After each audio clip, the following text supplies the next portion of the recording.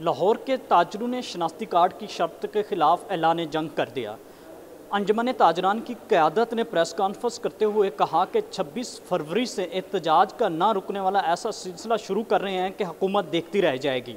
حکومت ٹیکس معاملات اور شناختی کارڈ کی شرط کے اوپر کوئی واضح پالیسی نہیں دے رہی۔ مزید جانتے ہیں اس رپورٹ میں۔ پریس کلب میں انجمن تاجران نے پریس کانفرنس کی اس موقع پر مرکزی صدر خالد پرویز نے کہا کہ معیشت کا پہیہ چل نہیں رہا ہم مجبور ہو کر میدان میں آئے ہیں۔ دو ٹوک کہہ رہے ہیں اگر حکومت معاملات حل نہیں کرے گی تو ہڑتال بھی ہوگی اور شٹر ڈاؤن بھی۔ ہم پر تلوار لٹکا دی کہ شناختی کارڈ دے اس کو محدود کر دیا۔ یہ میرے ملک کے لیے بڑا خطرناک ہے۔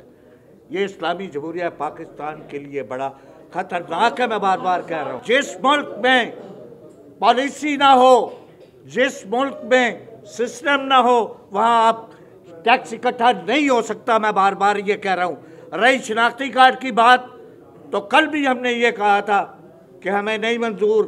اور مرتے دم تک کہیں گے۔ صدر انجمن تاجران لاہور مجاہد مقصود بٹ نے کہا کہ شناختی کارڈ کی شرط اور معاملات حکومت نہیں دیکھ رہی۔ چھبیس فروری کو شاہ عالم مارکیٹ سے احتجاج کا نہ رکنے والا سلسلہ شروع ہوگا۔ ہم نے یہ پیغام جو ہے حکمران کو دے دیا ہے کہ ہم شناختی کارڈ کی شرط ختم ہونے تک اپنا احتجاج جاری رکھیں گے۔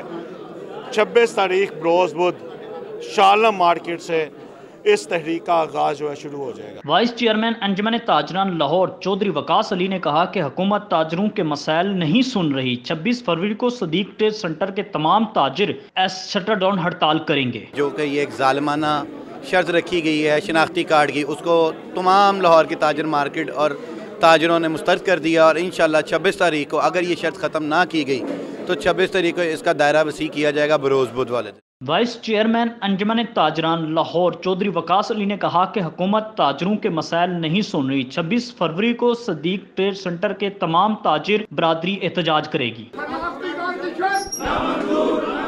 شٹر ڈاؤن ہڑتال، تاجر برادری کا حکومت کے خلاف اعلان جنگ۔ کیا بزدار حکومت یہ سب کچھ جھیل پائے گی؟ کیمرہ مین غلام عباس کے ساتھ Imran Jalil, N P News, Lahore.